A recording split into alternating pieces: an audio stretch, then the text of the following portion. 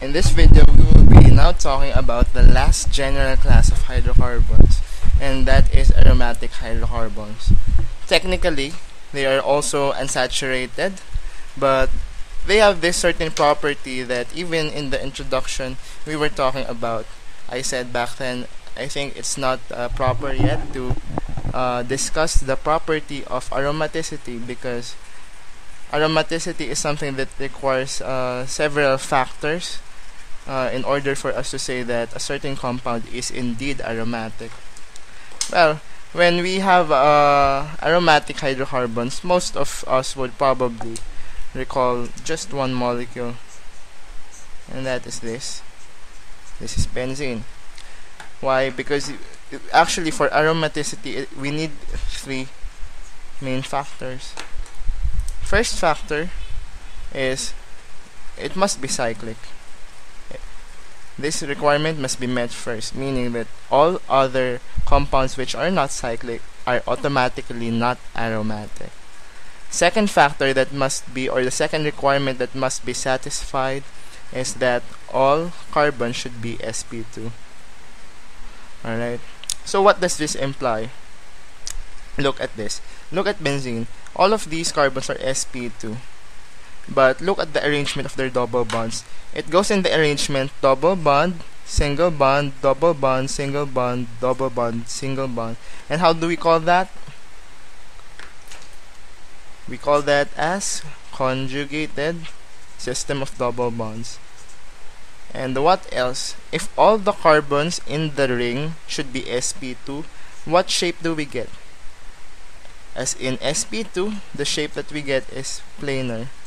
So in this second requirement, it will this will imply that the compound must have a conjugated system of double bonds and must be planar all throughout. The moment that there is a carbon in the ring which is not sp2, it will automatically be non-aromatic because it will not anymore be planar all throughout. The third requirement is uh, we're going to do a little math. It's named after a certain person who discovered it. Okay. Huckel's rule. right Uh, the the U that looks uh, like a smiley face is really cute. Anyway, Huckel's rule has this formula for n plus 2 wherein the n is the number of pi electrons. Take note, not pi bonds, pi electrons. So here, for example, how many pi electrons do we get? We have 3 pi bonds we know that. But that would translate to 6 pi electrons. 6 pi bonds we yield 6 pi electrons. So what is the requirement for Huckel's rule? In Huckel's rule n must be a whole number. The moment you see something like 0.5 there 1.5, 2.5, that will already violate Huckel's rule. How about in benzene? What is Rn here? Alright, Rn is Rn is 6. Okay. Uh, by the way, uh, I stand corrected. This is not the number of pi electrons. 4n plus 2 is the number of pi electrons. Alright. So again, I'll just rewrite that to be sure, to be clear for n plus 2, this entire formula will yield, will yield the number of pi electrons and it should be a whole number. Let's uh, put here 6 because in the benzene ring we have 6 pi electrons. Let's try to see if n will be 2. Uh, I mean if n will be a whole number. For n plus 2 what happens? for n we transpose 6 minus 2 for n is equal to 4 divide that. n is 1 is 1 a whole number? Check. So does it follow Huckel's rule? Check. Alright. So that's uh, th those are the three requirements for aromaticity. Now let's talk about the reactions of an aromatic uh, ring. Uh, I, I could call that an aromatic ring because being cyclic is a requirement anyway. So here, uh, look at benzene ring. this is benzene and each of the carbons here have one hydrogen right just like alkanes and alkynes an aromatic ring has a lot of electrons so between a nucleophile and an electrophile most likely the one to react would be one which like electrons of course it's in the name already right electrophiles so we, most likely reactions would be electrophilic. Now, the problem is, would it be addition or su uh, substitution? We don't know. It's possible for it to be addition, right? Because if it's going to be an, ad an addition reaction, what happens? For example, let's add chlorine. We have chlorine here. And, uh, well, let's try uh, to assume that benzene would react the same way that alkenes and alkynes would react. This is the way alkenes and alkynes would react, right? You remove the double bond and you, you, you replace it with the reagent. The problem is this. Uh, the issue is this. Aromaticity gives intense stability to the ring.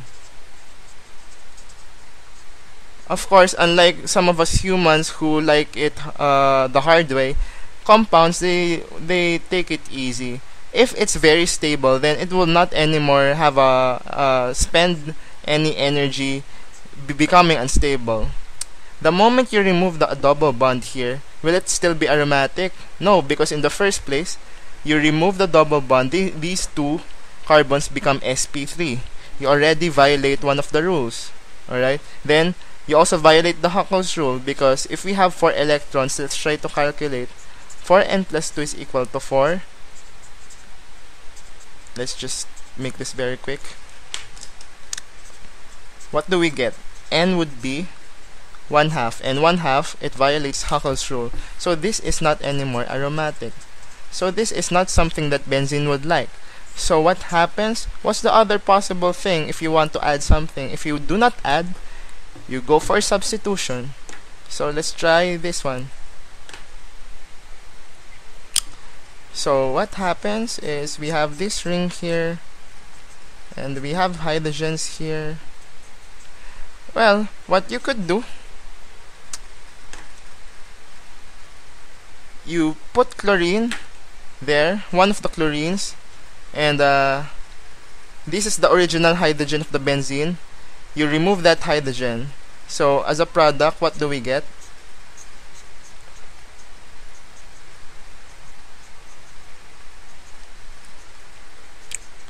We get this.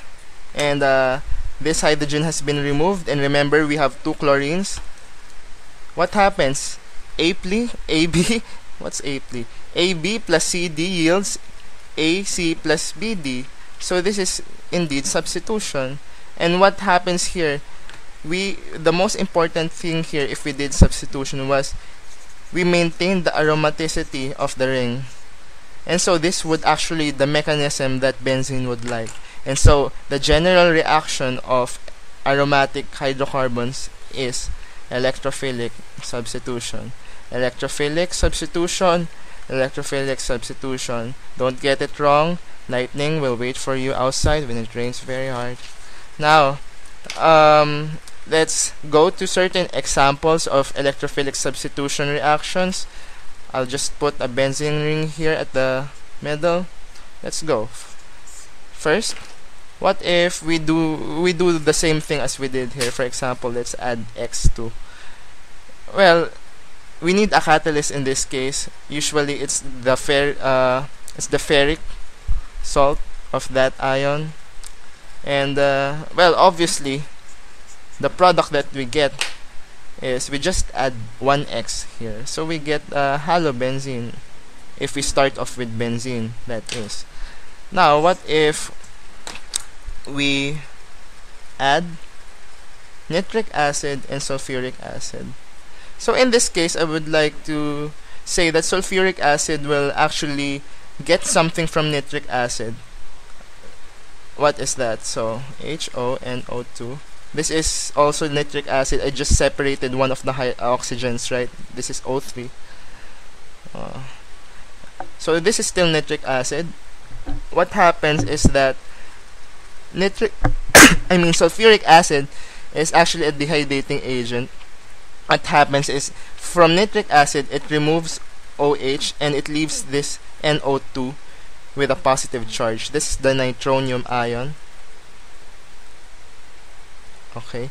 Having the IUM suffix means it is positively charged. Uh, just in case it will not the symbol of NO2 positive is not given and simply you add the nitronium ion to the uh, to the ring so here we get a nitro benzene my font colors are now being uh, mixed up anyway what if for example now we by the way this the, the name of this reaction is nitration simply because you, you, you used nitric acid. Now, if we have nitration, we have sulfonation, and as the name implies, it adds a sulfonyl group. Actually, here we get a SO3. We use SO3, which is sulfur trioxide, that's a gas, and sulfuric acid. Collectively, the combination of these two is called fuming sulfuric acid. Uh, here, just to make uh, uh, just to make it quick, the the electrophile that will be formed is actually he, this one or the sulfonium ion and uh, we know the drill already. We just add that SO3H here to the ring. Anywhere in the ring. Alright. Now uh, how about uh, the very simple things. What if we hydrogenate it? Use 3 moles. Well simply that's very quick. We just get cyclohexane very simple. Now what if we undergo oxidation. We use an oxidizing agent such as uh, potassium permanganate. This is the rule.